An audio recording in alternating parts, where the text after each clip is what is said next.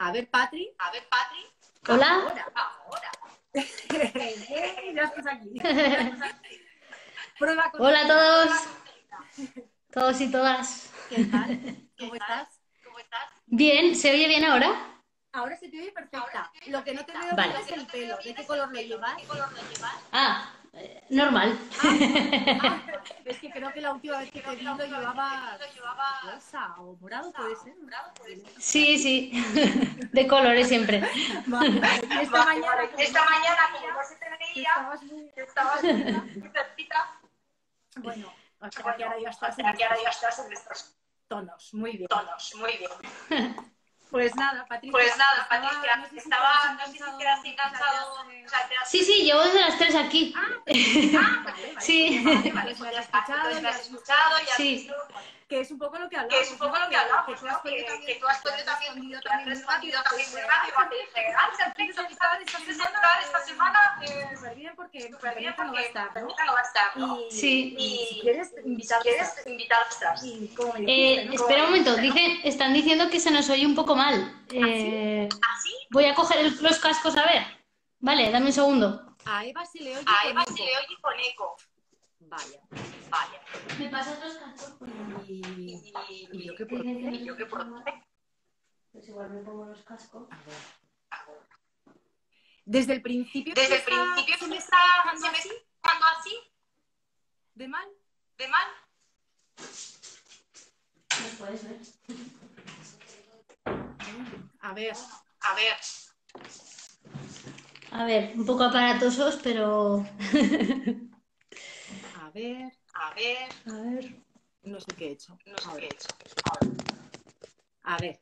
No, desde que has desconectado con Patricia. O sea, se me estaba escuchando bien hasta que llega Patricia. Patricia, A ver. ¿qué pasa? ¿Ahora sí o no? Habla un poquito más. Aprovecha para Eh. Bueno, pues hola a todos y todas. Soy Patri Joven, como ya, ya me he presentado. Y, y nada, ahora bien, vale. Yo me voy a poner así porque si no me retumba un poco. Sí, yo te oigo perfecta y ya no me oigo. Vale, perfecto. Ya está. Genial. Qué bien. Que es importante que puedan escuchar cómodamente, que si no, madre mía.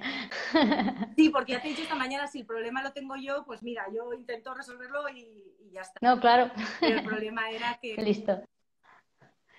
Pues nada, aquí estamos eh, para contaros cositas, no sé qué cositas. Bueno, yo la presentación ya has visto, o sea, ha sido como ha sido esta Sí. semana tan rápido, estás haciendo unos talleres, bueno, tú eres un artista, para empezar. Entonces, Sí, ya sabes que este proyecto está muy ligado, primero por mis gustos personales hacia, y la inclinación que tengo hacia el arte y hacia la creatividad. eh, de. Y siempre ha sido uno de los motores y de los impulsos de este proyecto y, y está ligado. Entonces, el, el objetivo es eso, es aportaciones creativas. Hombre, en este caso tú eres un artista, pero las aportaciones que hacemos los demás es desde nuestra creatividad, que todos Claro que sí. y desde nuestra Sí. esencia. O sea, que Sí. desde ahí es de donde partimos los demás. Tú como artista, pues nos sacas un poquito de ventaja y partes desde otro lugar. Pero Va, no te se creas, ¿eh? de que cualquier persona, o sea, al final eh, es la actitud, ¿no? La que, la que hace que podamos eh, colaborar y estar y, y avanzar y construir y hacer. Entonces, bueno, aprender unos de otros. Unos somos mejores en unas cosas, otros somos mejores en otras, pero ya Claro que está. sí. Ya está. Todos al final tendremos nuestro hueco y nuestro sitio. El que quiera participar y el que quiera estar, lo va a estar Exacto. en esa wiki, porque es una construcción colectiva y es un proyecto que esa es la esencia. Así que, bueno, tú como artista, Muy bien. cuéntanos, cuéntanos. Pues yo he elegido, te digo lo que he elegido ya desde el principio. No, cuéntanos un poquito No. quién eres tú. Ah. O sea, Ah, vale. pues, Como ya me habías presentado tanto, digo, Bellas Artes. no, no. Sí, yo hice Bellas Artes. Luego acabé Bellas Artes, me hice un máster en efectos especiales para el cine y me di cuenta que no me gustaba mucho porque era todo el rato ordenador y, y muy técnico y todos los efectos que te mandan es eh, explosiones mm, y cosas así violentas un poco y no me pareció muy creativo a la hora de trabajar, o sea, de cara a un futuro. Y prefería hacer cosas más plásticas, que me gusta mucho más el tema plástico que el del ordenador. Ay, perdón. Y bueno, pues eh, después, con todo esto de la crisis que vino cuando yo acabé la carrera, que ya un montón, eh, no encontraba trabajo, así que como no sé estar sin hacer nada, me metí a audiovisuales. Ay, perdonad. No pasa nada. Porque, nada, bebe agua. Que hace mucho calor. ¿Tienes algo? ¿Tienes algo? Fenomenal. Porque has estudiado fuera, siempre, o en Zaragoza. Sí, sí, no, he estudiado fuera. Fuera, siempre. Sí, he estudiado, bueno, eh, el bachiller artístico aquí, pero luego estudié en Bilbao, eh, Bellas Artes. Eh, en Valencia hice el máster y luego en Austria también estuve haciendo el Erasmus, que al final me quedé un año y pico.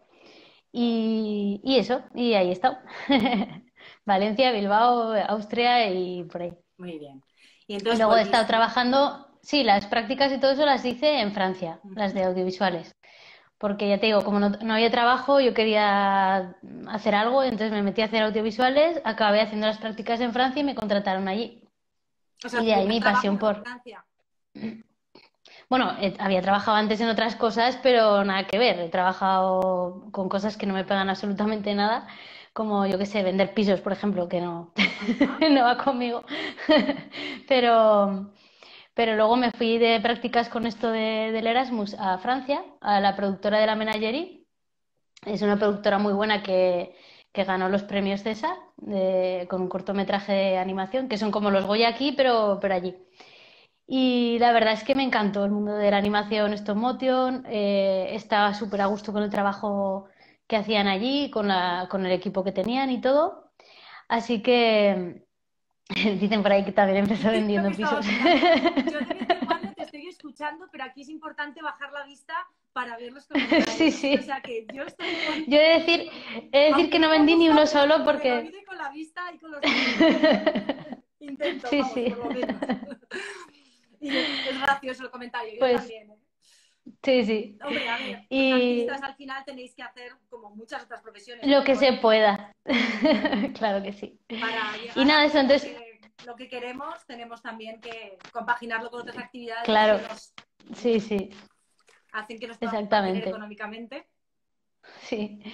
Y bueno, eso, luego di con los de La Menagerie, un- una productora francesa, y me encantó el equipo y me quedé con ellos a trabajar y tal. El problema era que no tenían eh, trabajo de continuo, porque el tema cultural también, y eso que en Francia está mucho más apreciado en general por las instituciones y por la gente. Ahora no tanto porque están cambiando un poco la cosa, pero bueno, sí tenían, tenían más trabajo que aquí.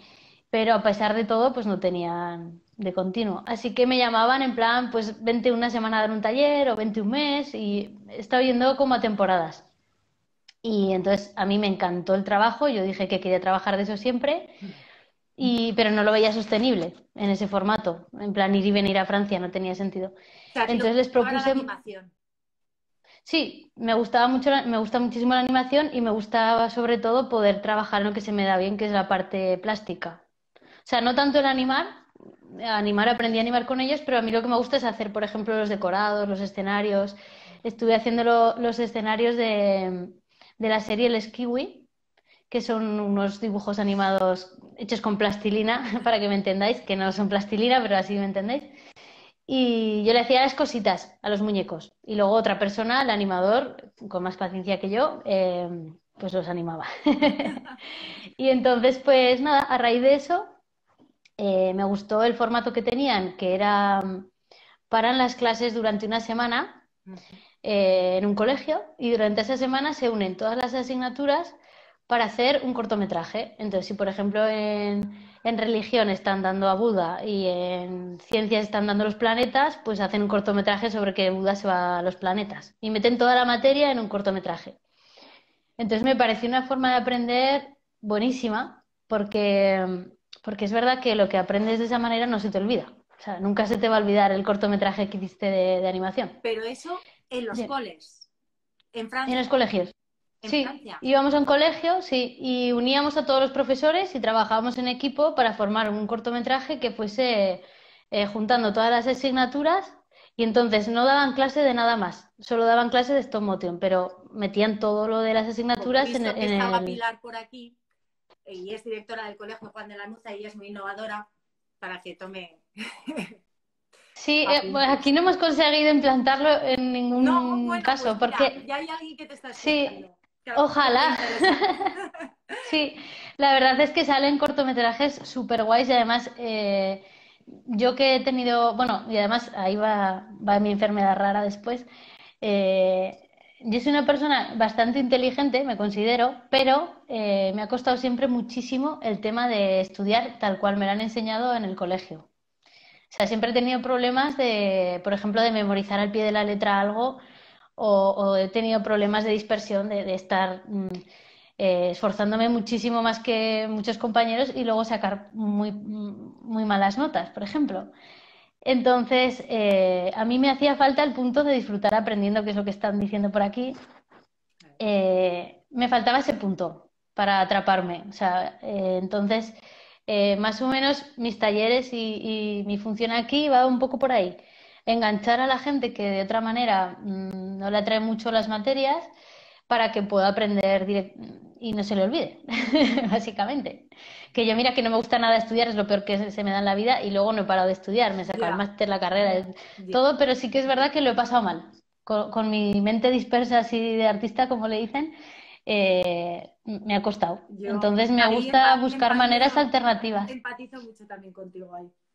A mí me Mm. cuesta muchísimo. Yo, mira, fíjate, un ejemplo tonto, pero yo frases eh, literales eh, no- nunca suelo decir de alguien porque les doy la Sí, vuelta. ¿no? Entonces, eh, me las Sí, sí. o sea, yo sé lo que quiero A mí me decir, pasa también. persona, pero si Sí, no sí, digo, sí. como dijo tal, es que me lo he inventado, pero me da igual la frase que sea, los refranes también me los... me- yo, me yo- claro, Eso es una mente creativa, no pasa nada. por eso el darle una vuelta es que viene conmigo de toda la... Porque yo le doy la vuelta a todo. O sea, a todo. Estoy Sí, sí. ya estoy pensando en otra cosa o en, o en cómo estarías tú si, si las gafas fuesen eh, alargadas y con forma gatuna. O sea, Exactamente. es que estoy- no se puede. Entonces, está muy bien aprender cosas a través del juego y a través de otro tipo de actividades porque porque Sí. es la manera de, de- de que nos entren. Sí, y además no tienen la sensación de que están en clase, tampoco. Al menos eso es lo que he percibido yo. Están súper motivados. De hecho, muchos niños, eh, eh, me ha pasado muchísimas veces, hemos trabajado con todo tipo de niños, eh, con gente de acogida, con niños que no tienen ningún tipo de, de autoridad, por ejemplo, porque no tienen familia y han estado saltando de acogida en acogida y cosas así. Niños que no se interesaban por nada y de repente llegan al taller y, cuando ven todo lo que han, los, los cuidadores o todo esto, cuando ven lo que han hecho, me dicen, ¿pero en serio se han portado bien? Como extrañadísimos, ¿sabes? Sí, es que solo hay que darles una oportunidad y una alternativa también. Entonces, eh, no solo a niños conflictivos, a niños de todo tipo y mayores, porque nuestros talleres también son para mayores. Y es verdad que cuando yo siempre les digo al principio del taller que, que levante la mano el que tenga paciencia, eh, la levantan dos, nadie más. Yo no la levanto tampoco, pero es verdad que, que eso, que cuando no hace falta que tengas paciencia, cuando estés haciendo algo que te gusta Mm. eh, o que te tiene abstraído ahí, mm, se te olvida. Tiempo. Puedes estar tres horas moviendo un muñequito que luego dices, ¡jo, qué paciencia! Pues me lo paso súper bien. Entonces, bueno, a mí me gustó ese modelo, les pedí permiso al equipo de allí para montar algo parecido aquí y me dijeron que sí, que me ayudarían y tal, entonces eh, montamos un equipo como a distancia. Ellos me ayudaron en un principio Ah, y ahora yo le doy ideas a ellas. Entonces, vamos compartiendo. Ahora yo estoy trabajando aquí de eso, llevo ya cuatro o cinco años, me parece. Eh, y cuando sale trabajo allí, pues me voy con el equipo de la menagerie, porque nos sigue gustando mucho trabajar juntos, la verdad. Entonces nos vamos dando ideas, compartimos y la verdad es que está muy bien. A mí me encantaría que viviesen aquí, Ya, para bueno, más, más cerquita. trabajar eh, en remoto, ¿no? Y, o bueno, Sí. ya no tanto en remoto, que sí que me imagino que también lo haréis, sino eh, aparte de compartir los recursos, ¿no? Que dices, y los materiales, Sí. y los talleres y todo lo que vais aprendiendo, que tú también puedas dar el salto y de vez en cuando ir a Francia o que ellos vengan aquí. Eso al final Sí, es súper enriquecedor, ¿no? sí, sí, El poderte así, mover, el así es. salir, el entrar. Bueno, eso forma parte Sí. también de, del aprendizaje. Exactamente. Y yo Y a raíz de ahí, de cómo estaba vinculado la enfermedad a tu vida, ¿no? Cuando hablaba un poco de cómo el no hacer planes, eh, que es algo que también nos une, que lo hemos comentado en alguna ocasión, ¿no? Que, Y eso es algo que yo creo que lo llevamos las personas que hemos vivido. Yo he visto a mi madre arreglada y todos arreglados salir por la puerta y de repente decir, no se puede salir porque mi padre está mal. Y volver para atrás, ¿no? O sea, son cosas. Ay, perdón, no sé qué he hecho, me he quedado ahora congelada.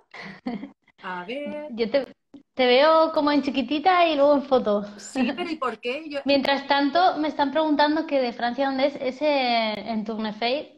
Perdón por la pronunciación, porque yo francés eh, cero. pero, Lo- pero es un pueblito de Toulouse. No sé si hemos Es probado a escribir, no se puede. ¿Tú no puedes escribir a la vez? Sí, Puedes, Sí porque puedo, lo podrías poner sí. escrito. O bueno, si quieres, Ah, vale. lo pasas y lo pongo yo también. O que lo, pon- lo pones en tus redes y le seguís luego a Pixel y Pincel, que es Patri. Buah, me A va he lentísimo. Igual lo escribo. O sea, yo ahora estoy con una foto, me estáis viendo ahí quieta. Vale, perfecto. Yo te veo quieta y en movimiento. Bueno, a ver un momento. Eh, me vais a perdonar, pero voy a cerrar pestañas a ver qué pasa. Eliminar, no. A Pixel, no. Pues igual es que tengo que, que- que- igual tengo que apagarlo, ¿eh? Igual tengo que finalizar y volver a empezar. Pues bueno. Sí, que no me vai- no voy a estar ahí que parezco una estatua. Me preguntan que cómo me entiendo con ellos si no hablo francés. Eh, esta es una muy buena pregunta y es mi teoría de que quien quiere entenderse se entiende. No importa que sepas el idioma o no. Eh, lo que- lo bueno que tenemos es que trabajamos mucho, eh, todos, eh, los del equipo, nos, nos- nos dedicamos a fondo y, y tenemos una buena energía, no sé si llamarlo así o cómo llamarlo, pero todos tenemos ese punto positivo de querer que salga adelante y así es como nos apañamos, básicamente, e- in- eh, independientemente Ay, del idioma. Ah, ya está. Me daba miedo probar. Entonces- Yo soy antipruebas porque digo, es que luego la puedo liar todavía más. Pero mira, ha habido suerte. Esta vez. Pues nada, pues eso. eh, eh, yo no, es verdad que no sé francés. Eh, sí, siempre me han costado mucho los idiomas. Es un tema que, que no, que no he sabido aprenderlos en el colegio. Bueno, tampoco había dado francés. Yo me fui de ahí un poco a lo suicida, pero, pero bueno. Y sí que es verdad que a base de trabajar con ellos, alguna cosa ya, mm, pues sí que sí que hablamos y tal, pero sí que es verdad que la complicidad ha sido básica. O sea, yo tampoco me esperaba trabajar en un equipo sin entender nada.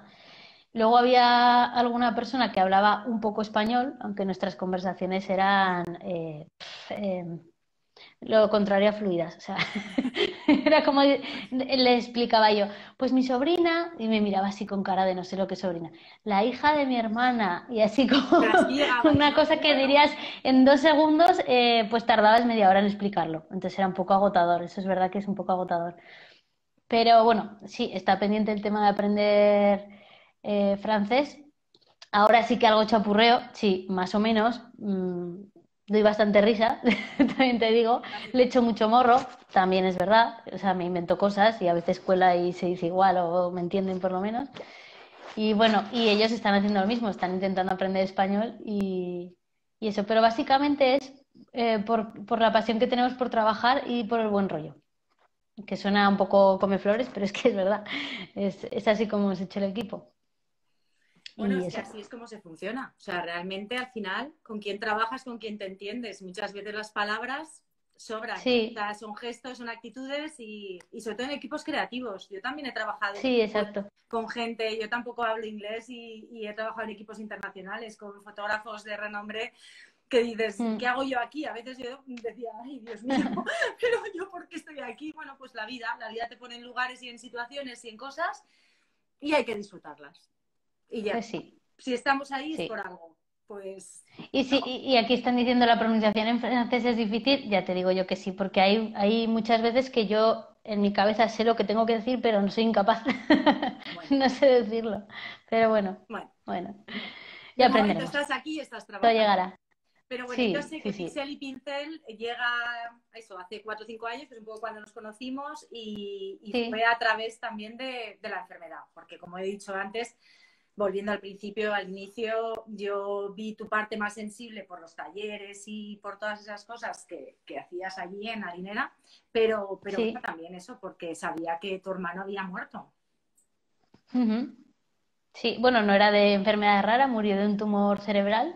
Cuando yo tenía seis añitos, él tenía once, Entonces yo de pequeña ya, desde pequeña ya enfilé con la enfermedad, ya, ya la viví desde, vamos, desde el principio, porque además estuvo año y pico, malico, o sea que la vivimos, que decir, no fue algo repentino. Y, y bueno, eso, mi vida empezó eh, relacionada con la enfermedad, empezó ahí. Eh, bueno, yo también he sido un poco moñas de nacimiento, he tenido que estar ingresada bastantes veces, pero bueno, ahora estoy bien. Y eso todo empezó ahí. Eh, mi grupo de amigos empezó eh, a formarse a raíz de la enfermedad, porque, pues imagínate, seis añicos, pues conoces a la gente del cole y poco más, quiero decir. Pues eh, a partir de eso me fui. No, yo ninguna. yo lo más raro que tengo es que soy, ¿cómo se llama esto? no me sale la palabra. Cuando tienes las conexiones neuronales Mm, conectadas de otra manera eh, y tienes los, las... Eh, no. ¿Qué tienes? Ya me saldrá. ya me saldrá. Ella no tiene. No, es... No, no, no, no es una enfermedad, ¿eh? pequeña ha tenido siempre una enfermedad que estaba ingresada un montón de días. ¿Y cómo descubriste que esa enfermedad, bueno, venías a contarnos lo de los campamentos, ¿no? Me imagino tus primeros amigos, tus primeras amistades, que eso es lo que Sí, todas, mis primeras sí, mis primeras amistades estaban relacionadas, bueno, primeras sí que siguen, siguen siendo amigos, vamos. Eh, pues empezamos a ir a los campamentos, mi hermano falleció. Eh, ese año, a ver, nosotros somos seis hermanos, ahora cinco. Eh, entonces, pues imagínate, cinco niños ahí en casa. Y cuando murió mi hermano, un poco así por, por animarnos y demás, pues nos apuntaron a los campamentos que hacían en Aspanoa, la Asociación de Niños con Cáncer, que mis padres fueron de los primeros padres que, estuvieron en la asociación. Eh, fue justo a la vez que empezó la asociación y, se puso enfermo mi hermano. Entonces nos apuntaron a los campamentos. Mi hermano ya había fallecido, pero nos fuimos mi otro hermano, mi hermano Alberto y yo, a, los campamentos. Eran campamentos de niños con cáncer, pero nos dejaron ir por, ser hermanos de un niño con cáncer. Eh, ¿qué pasó ahí? Que las vivencias que, tuvimos ahí, que todos eran niños con cáncer, menos nosotros y un par más, eh, cada uno con un tipo de cáncer que es muy amplia la cosa, pues alguno amputado, otro con problemas de movilidad, otro que problemas en el habla, o, otros que no tienen ningún problema, pero, eh, pero tienen secuelas psicológicas o, tienen que seguir con el tratamiento. Discapacidad, pero que está por dentro. Exactamente. Entonces, eh, bueno, eh, empezamos ahí a convivir con el tema de, la enfermedad. Eh, aprendimos a tratar desde la naturalidad de los niños, a tratar con gente que no, es el estándar que ves normalmente pues, en el cole o lo que sea. y, a raíz de ahí, pues mi concepto cambió también un poco de ver la vida. Porque, claro, eh, igual no, no, se entiende lo que, lo que es estar en un campamento con niños con cáncer. el tema es que muchos amigos tuyos van muriendo en el camino. Porque igual conoces gente que está en mitad del tratamiento, otros recaen, otros em, nunca lo superaron, o bueno. Entonces sí fuimos perdiendo amigos a lo largo de los años, pues desde los... Yo fui a campamentos desde los 8 hasta los 18, que era la edad tope. Eh, y después he continuado la amistad con todos, bueno, no sé si con todos, pero con muchos de, los que estaban allí. Así que, eh, a ver, no queden pena. Sí, exactamente, que valoras más las cosas, eh, efectivamente. yo valoro mucho todas esas experiencias, aunque fueron muy duras, es verdad, porque he perdido gente a todas las edades, en todas mis etapas de la vida, pues de niña, de adolescente, de mayor, de durante toda la vida he ido perdiendo gente en el camino, mucha. Y bueno, pues es una cosa que también te ayuda a, verlo de otra manera. Y eso. Yo siempre Un poco de agua. veo que tienes la, sonrisa siempre es algo que te caracteriza. Tú siempre estás con, con sí, sonrisa. Sí. Eso no quiere decir, bueno, como estaremos viendo, es que Claro. no, la cosa es que, te lo tomas de otra manera. O sea, por ejemplo, em, indirectamente, o sea, no, sin ser consciente de ello, pero por ejemplo, em, nunca sabes cuándo vas a ver a una persona por última vez. Sí, Eh, eso es algo eso que es una realidad. muchas veces. Para mí es muy importante cuando te despides de las Sí. personas, despedirte Exacto, bien. entonces, Yo siempre sí, digo, entonces- igual esa última vez, digo, yo no me despido de esta persona enfadada o mal Claro. enfadada. Me sí, cuesta hombre, yo no, no vivo con ese pensamiento, también te digo, es una cosa inconsciente que se hace. Eh, no estoy pensando todo el rato en la muerte, ni mucho menos, vamos, de hecho no lo pienso jamás.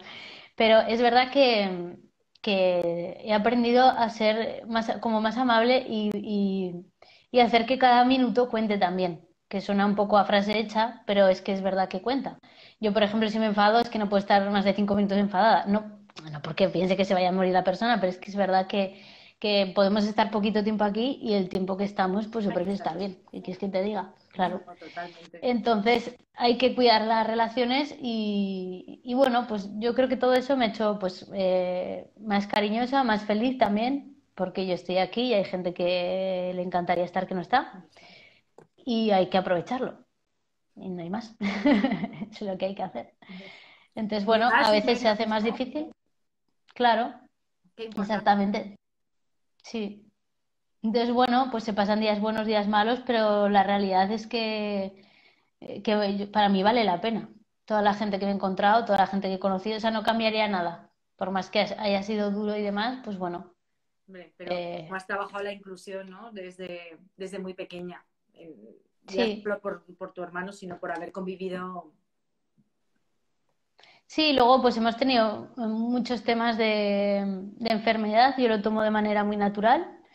Eh, son cosas que pasan, o sea, sin, sin quitarle importancia ni valor, por supuesto, eh, pero hay que llevarlo lo mejor posible, sí, como, como dice Tarani. Ta- es que Taraeni. Sí. Ah, vale, es que se me queda como borrosilla esa parte. Sí, te- Pero sí, eh, sí, eso, pues eh, hay que llevarlo lo mejor posible. Además, eh, está comprobadísimo que las defensas eh, suben cuando estás de buen humor y cuando tienes una actitud positiva.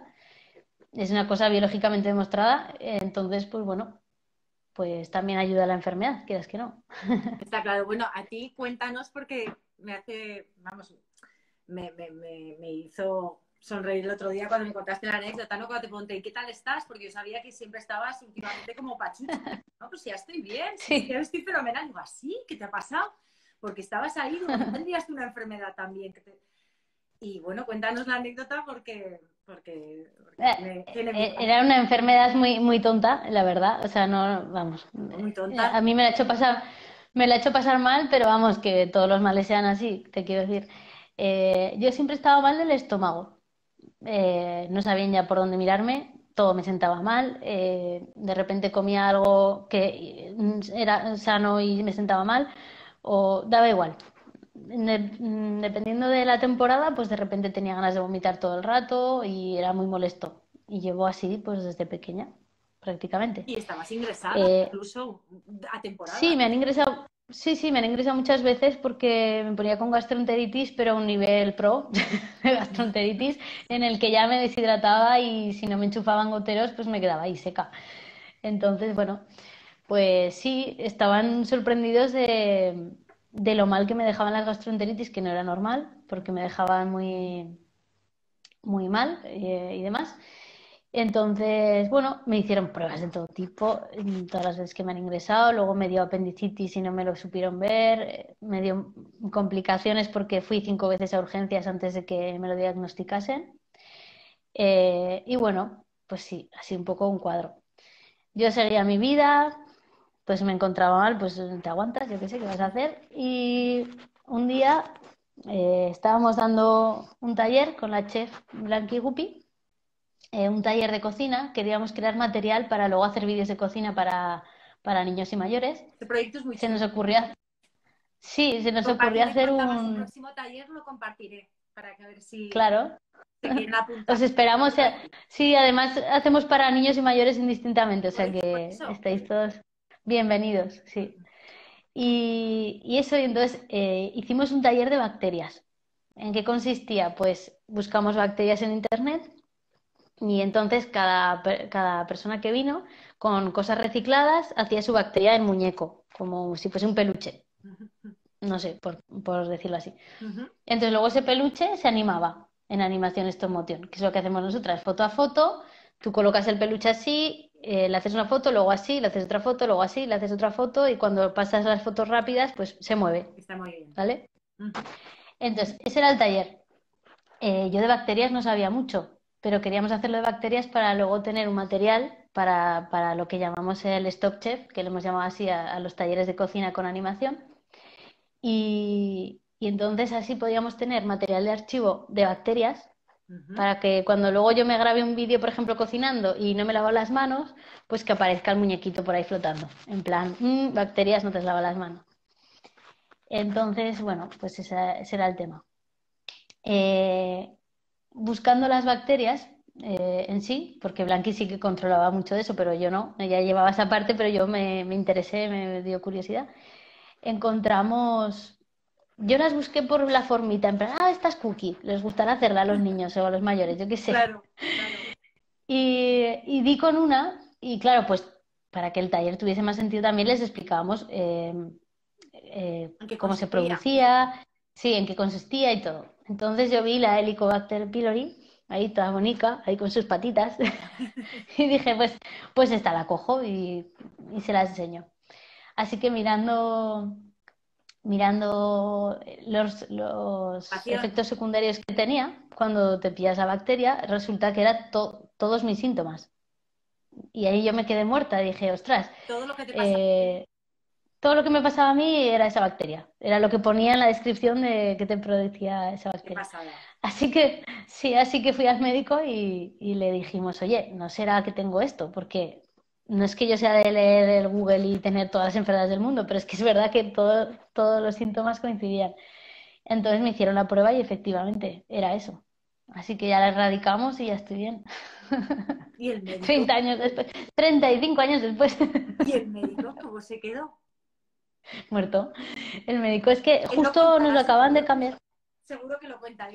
Vino una, una vez por No sé si lo cuenta o, o, o- o igual ni lo entendió, igual no- ni entendió. Yo le dije, mira a ver si tienes esto, pero no.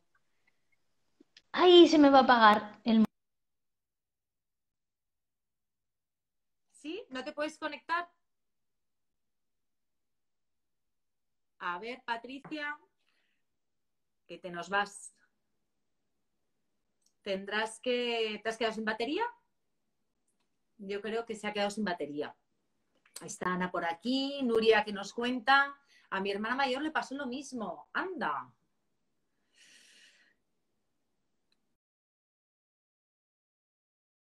Curioso, ¿no? ¿Cómo, cómo pudo, cómo encontró, fíjate, y yo no sé por qué salen aquí, se han quedado aquí las fotos, pero bueno. No. Es que no sé qué ha pasado. Bueno, pues a ver si entra ahora Patri, nos descubre esa enfermedad con, con la letra I.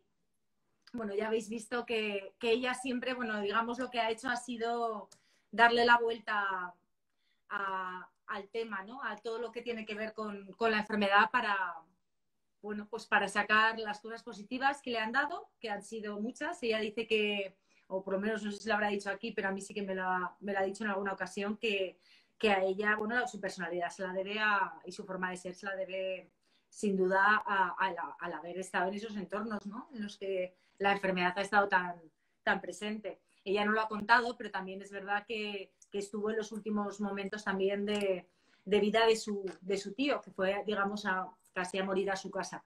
Y ella lo estuvo cuidando. Entonces, bueno, pues que tiene unas experiencias como muy...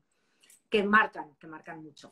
Así que, bueno, si no puede entrar, que yo me imagino que sí, eh, nos vamos a quedar con las ganas, sino de, de conocer eh, con la I qué enfermedad eh, vamos a descubrir.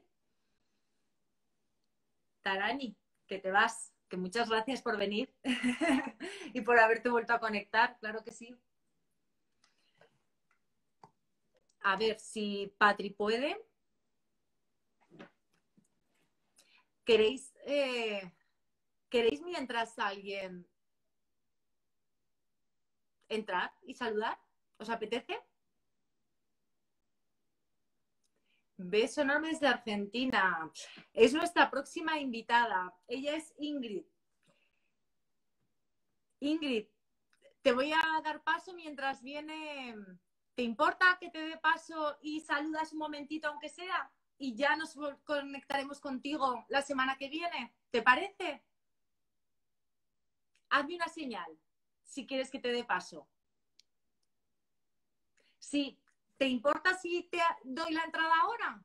Vale, dale, dale, me encanta esa expresión. Pues dale, Ingrid. A ver, me encanta. Porque llevamos dos semanas, que a ver si nos conectamos, que a ver cuándo hablamos, que si será la semana que viene, que si tal. Y va a ser ahora y así, en directo y de repente. A ver. ¿Sí? Acá me estoy preparando. Ah, Hola. Oye, esto sí que es aquí te pillo, ¿eh?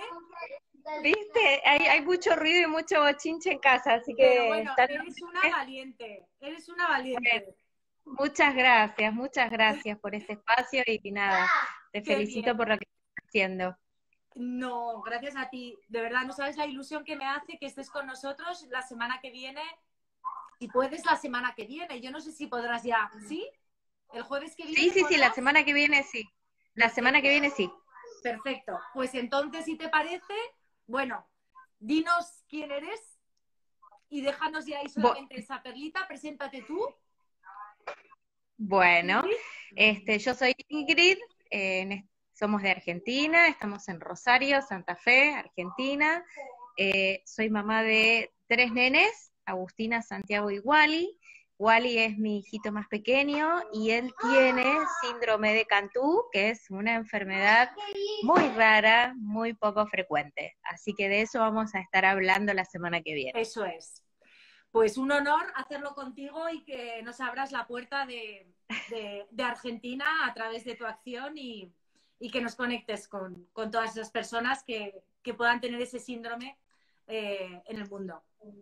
Sí, la Muchísimas verdad que gracias, sí, cada vez eh, es así, tenemos que estar conectados y Totalmente. compartir lo que nos pasa, Eso porque es. siempre hay alguien en algún rincón del mundo que puede necesitar esa información que nosotros tenemos para dar. Fíjate lo que, le- lo que nos contaba ahora nuestra invitada, no sé si las escuchaba, Patricia. Ella Un poquito una a lo animación, último. Ella haciendo una animación para uno de sus talleres, busca información en Google y bu- busca un- una bacteria porque estaba haciendo un taller de bacterias y elige una al azar porque le gusta la forma y esa bacteria es la que ella tenía y durante 35 años había estado ingresada cada dos por tres en el hospital. Yo la he conocido enferma cada dos por tres.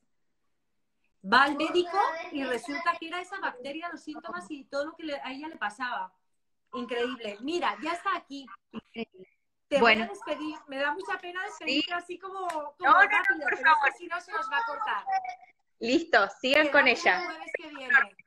Bueno, Nos vemos la semana que viene. Genial. Un beso. Gracias, Ingrid. Voy a darle paso a, a Patricia. Gracias. Chao. Chao. A ver. A ver si puedo. con- Tendrás que darle a la crucecita. ¿sí? Ahí está. A ver si puedes cerrarlo tú. Y así, gracias, Ingrid. Muchas gracias. A ver. A ver si ahora ya te puedo. A ver. Patri. Patri.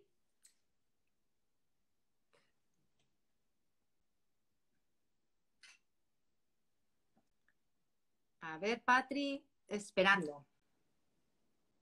Ay, nos va a quedar ya muy poquito tiempo para, para conocer.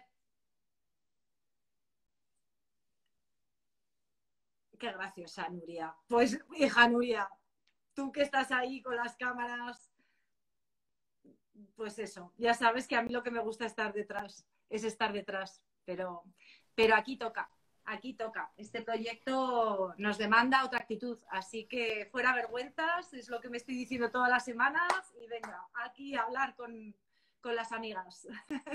Gracias, Nuria. Un beso por tus ánimos. A ver, ¿ya estás ahí, Patri? Corre, que nos tienes que enseñar. ¿Qué has hecho? Sí, sí, es, es que tengo al perrete aquí que me estaba mirando ahí. Eh, Nos queda muy poquito para que Ya. nos corte Instagram. Entonces, ¿qué enfermedad Vale. es la que has elegido? Pues mira, eh, a raíz de todo esto eh, que hemos estado hablando de la educación, eh, me ha llamado la atención la incapacidad específica de aprendizaje. Que si miras la descripción, luego hay como muchos eh, subapartados. Mira, Cachio saluda. Hay como muchos, hay muchos subapartados. Bueno, muchos no, hay en realidad dos solamente. Pero bueno, es como que especifica que que no me chupes, que, que tienen problemas para, para hablar, por ejemplo, pero que no tienen problemas eh, mentales, simplemente tienen la misma inteligencia y demás, pero No tienen problemas a la hora de aprender el idioma. ¿El qué? Gracias, Ana. Gracias, Ana. ¿Y qué número Y eso, entonces he elegido eh, ¿Qué número de hoja? es el 21, no, el dos, eh, 211.047. Me la apunto.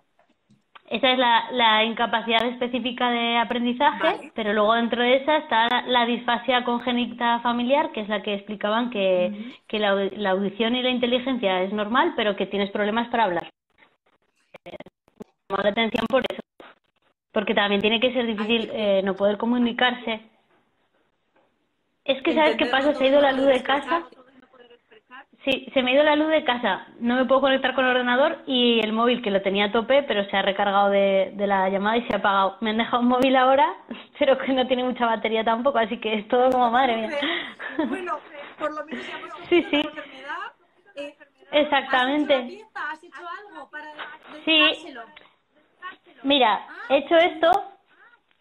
Es un triangulito rojo que tiene así como el, eh, la cinta de atención. Sí.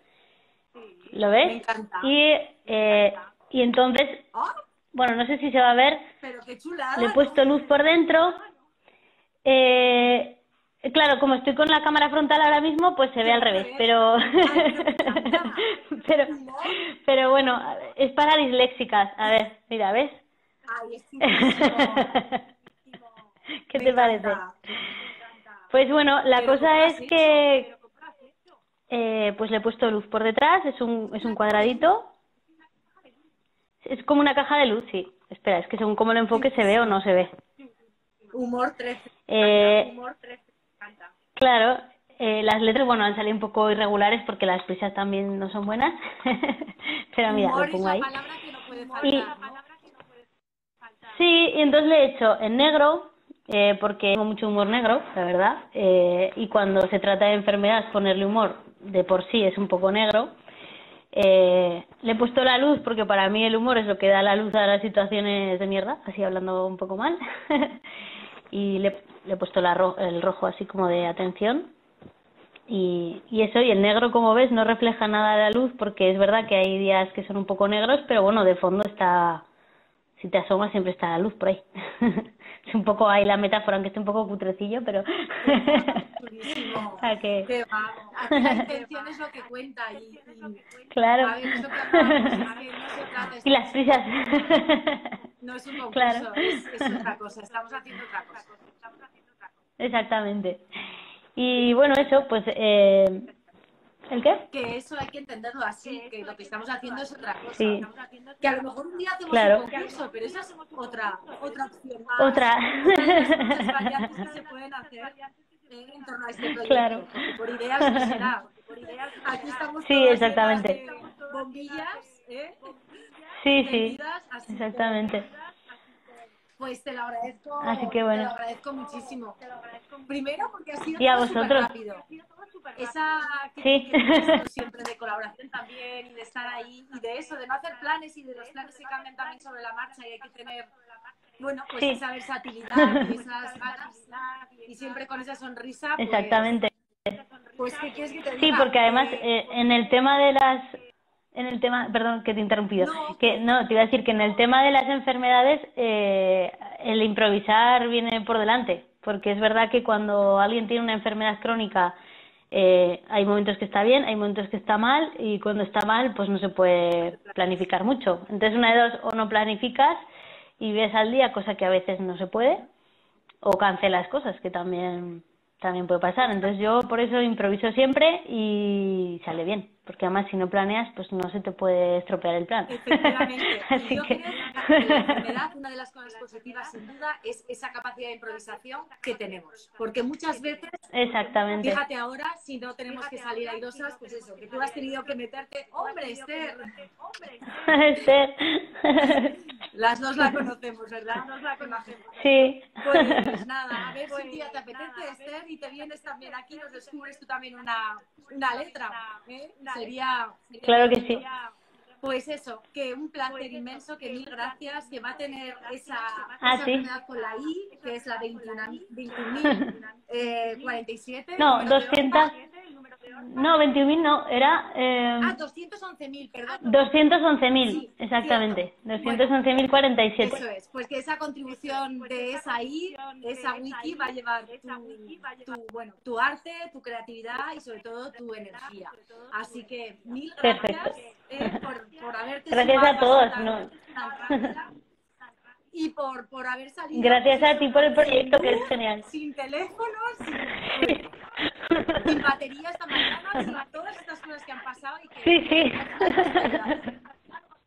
Además que nos ha ido la luz en cinco años. y- bueno, muchas gracias a todos y gracias a ti porque el proyecto la verdad es que es una pasada y, y nos gusta un montón. Así que ánimo y suerte y que vaya muy bien. Y besos a todos los que participan y los que te siguen y todo. Así que a los que visibilizan y todo eso. Muchísimas beso gracias. especial. A ti. Hasta Un luego. beso enorme. Nos vemos por el próximo día 30. en Venga. Ah, sí, es verdad. Si quien se quiera venir, ahí, Yo lo voy ahí a será bienvenido, Vale. No sé si el, no sé si es el 29 o el Es el 30. 30. Eh, pero bueno, el 30, vale, Al por si acaso, vale. es el 30, al que yo ya me apunté. Vale, bueno, Vale. pues eh, bueno, en el cartel lo pone en cualquier caso. Yo lo compartiré también, ¿vale? Vale, muy bien. Bueno, muchas gracias a todos. Gracias. Hasta luego. Gracias, Pati. A ti. Pues nada, creo que ya se acaba, que muchísimas gracias, qué bien que ha aparecido Ingrid también, ha sido totalmente, bueno, pues eso, ya lo habéis visto, absolutamente. Y, ya, pues ya nos ha dicho que sí, que ya el jueves que viene puede, o sea que fenomenal. Hablaremos de Cantú, de la enfermedad de su hijo Wally y de todo lo que está haciendo ella desde Argentina para el mundo. Así que miles de gracias a todos los que os habéis conectado hoy por aquí y, y bueno, y hasta la semana que viene. Muchísimas gracias. Beso. Chao.